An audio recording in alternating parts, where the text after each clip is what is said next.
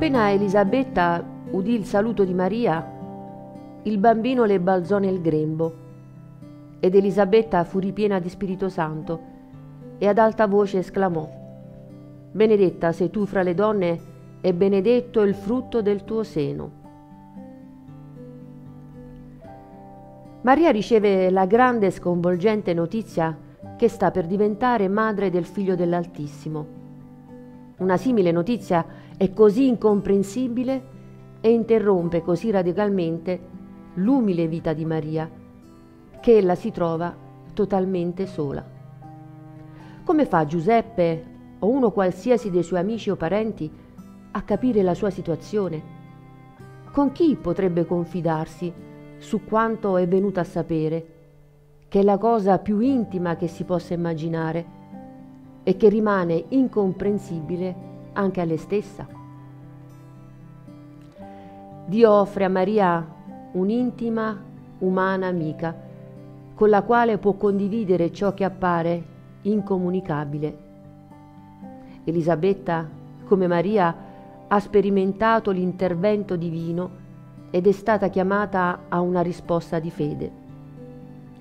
Essa si può rapportare a Maria come nessun'altra persona avrebbe potuto fare. Sono profondamente commosso da questo semplice e misterioso incontro. In un mondo incredulo, pieno di dubbi, pragmatico e cinico, due donne si incontrano e confermano l'uno nell'altra la promessa che hanno ricevuto. L'umanamente impossibile è diventato realtà presso di loro. Per tre mesi Maria ed Elisabetta vivono insieme e si incoraggiano a vicenda ad accettare la maternità loro data. Né Maria né Elisabetta dovevano vivere l'attesa nell'isolamento. Potevano attendere insieme e approfondire, così l'una nell'altra, la loro fede in quel Dio, per il quale niente è impossibile. In tal modo, il più radicale intervento di Dio nella storia è stato ascoltato e ricevuto in comunità.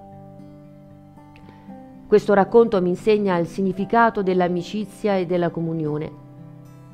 Come potrei mai lasciare che la grazia di Dio agisca in pieno nella mia vita se non vivo in una comunità di persone che possono confermarla, approfondirla e rafforzarla?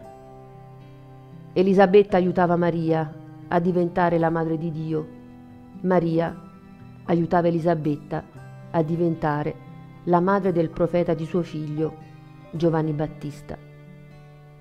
Dio potrebbe sceglierci individualmente, ma Egli vuole sempre che ci mettiamo insieme per far sì che la sua scelta giunga a maturità.